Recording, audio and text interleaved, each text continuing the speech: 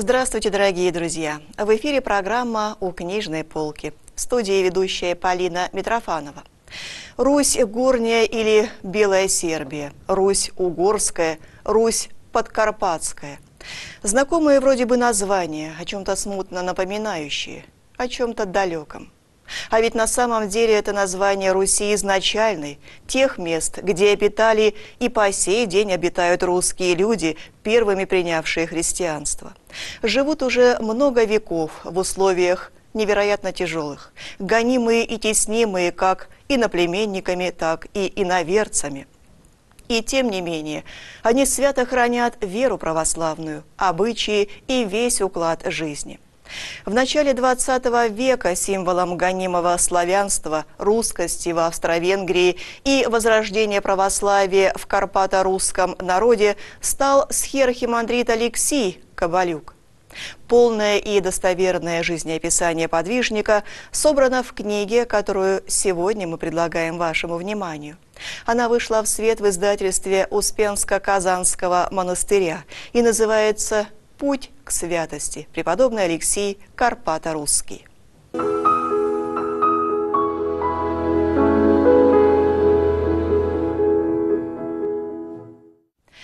Эта книга посвящена непростой жизни одного из величайших карпато-русских святых, апостола Подкарпатья, жившего на рубеже XIX и XX веков, преподобного Алексия Карпата-Русского, урожденного Александра Кабалюка – в данном издании говорится и о необыкновенном месте рождения святого, гуцульском селе Ясеня, возникшем под покровом Пресвятой Богородицы. О жизни племени гуцульского с описанием природы, жизни, обычаев. Здесь же перед глазами читателя проходит и история Карпато-Русского края, которая неразрывно связана с необыкновенной судьбой преподобного Алексия.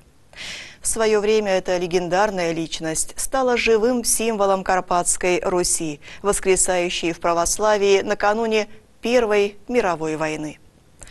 Чудо великого возрождения православия, по словам автора Григория Владимировича Радчука, это не общая фраза. Это название конкретной исторической эпохи в жизни карпато-русского народа, первой половины XX века, и это же удивительнейшая страница в истории церкви.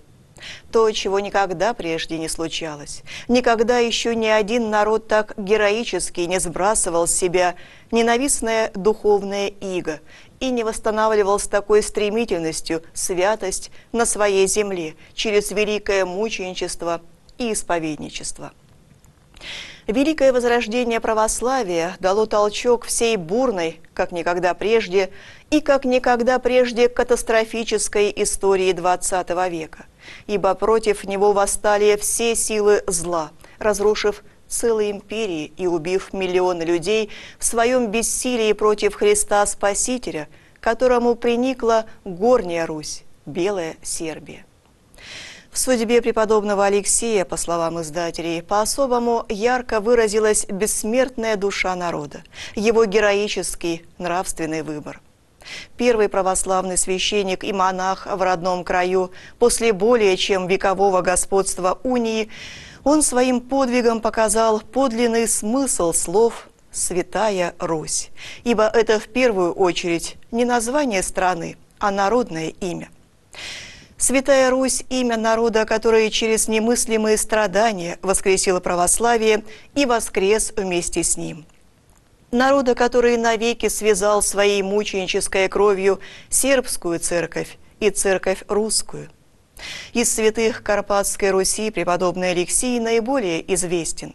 Еще при его земной жизни о нем была написана книга, составлено множество воспоминаний, опубликовано много статей в газетах. Им самим продиктованы и изданы прижизненно мемуары, записаны его рассказы. Ценность настоящей работы, по словам издателей, именно в том, что она основана прежде всего на воспоминаниях близких людей, которые действительно знали преподобного, и кроме этого показывает благодатное влияние его святой личности на родных. Святыми не рождаются, ими становятся. Его путь к святости был долог и труден, да он и не может быть иным. Господь многократно ставил его перед нравственным выбором, и Александр ни разу не отступил от единожды выбранного пути. А начался он 12 сентября 1877 года, когда в Карпато-русской деревне Ясене в семье лесоруба Ивана Кабалюка родился мальчик и в крещении был назван в честь святого Александра Невского. Отцу часто приходилось выезжать на хозяйственные работы, поэтому воспитанием детей занималась мать. Как глубоко верующая женщина, она смогла привить детям свое благочестие и религиозное настроение, дать им настоящее христианское воспитание. Все материнские наставления глубоко проникли в душу и сердце Александра.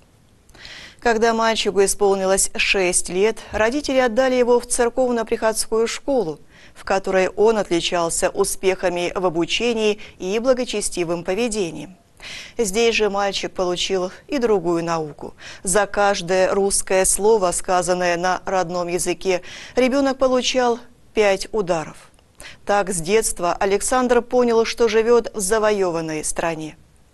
Возмужав, он служил в австро-венгерской армии прошел через многие унижения, но не сломался, никогда не хитрил, не изворачивался, смотрел прямо в глаза. За это его все невольно уважали. Вернувшись из армии, Александр застал своего отца ослабевшим и изможденным, а после его смерти стал старшим мужчиной в доме. Положение юноши улучшалось и укреплялось, и вскоре Александр стал богатым хозяином, завидным женихом. Но вместо ожидаемой женитьбы Бог судил совсем иное. Господь открыл своему избраннику участь грешников в аду, и в душе молодого человека произошел нравственный перелом. Возврата к прошлому уже не могло быть никогда, а будущее для него было неясным. Как переделать свою жизнь? Как начать новую жизнь, богоугодную? Вот сложнейшие вопросы, которые неотступно стояли теперь перед душой Александра. В это тяжелое время раздумий успокаивает и укрепляет его только молитва и чтение Священного Писания. Чтобы докопаться до истины, он ищет духовные книги, которые в то время были редки и очень дороги. Данный отрезок времени становится очень важным для будущего исповедника. Ему предстоит вернуться в святую веру своих предков путем тернистым и долгим, выстрадать самому, всей своей душой, всем своим существом истинную веру, чтобы потом всегда быть готовым отдать за нее жизнь и проповедовать ее без устали народу Карпата-Русскому. В 1905 году Александр отправляется в Россию и возвращается православным миссионером-проповедником. Через год он вновь уезжает в Киев, где принимает твердое решение стать монахом. В 1907 году по постановлению Собора православных общин Подкарпатья Александр в третий раз посещает Россию, город Почаев. В следующем году живет два месяца в Палестине. Пребывание на Святой горе Афонской завершает его окончательный переход в святое православие. Именно это становится центральным моментом жизни святого – принятие православия на Святой горе Афон, а также дарование Божьего благословения для страждущего народа, чудотворного образа Божьей Матери, акафисной предвозвестительницы. Этот момент освящен в полном житии по-особенному, нестандартно – слово предоставляется непосредственному свидетелю, афонскому иноку Динасию, который подробно все это описал. После принятия православия подвижник возвращается на родину, проповедуя истинную веру своему народу. Здесь за Александром Кабалюком начинается постоянная слежка. Его часто арестовывают австро-венгерские жандармы, но он продолжает свое начатое дело – у него проводят обыски, конфисковывают книги, после нескольких дней допросов отнимают паспорт. Но ничто не может удержать Александра. Он тайно, с чужими документами пересекает австро-венгерскую границу. В России с 1908 по 1910 год проходит великий духовный путь от новообращенного до монаха. Постриг в малую схему с именем Алексей, рукоположение во иеродьякона, потом во священника. Так совершается то, чего чаяли уже много лет православные Подкарпатской Руси, находясь в униатской блокаде. У них появляется свой священник. С ревностью и жаждой служения своему бесправному народу отец Алексий обходит все села, перешедшие в православие. Но впереди исповедника ждут еще суровые испытания.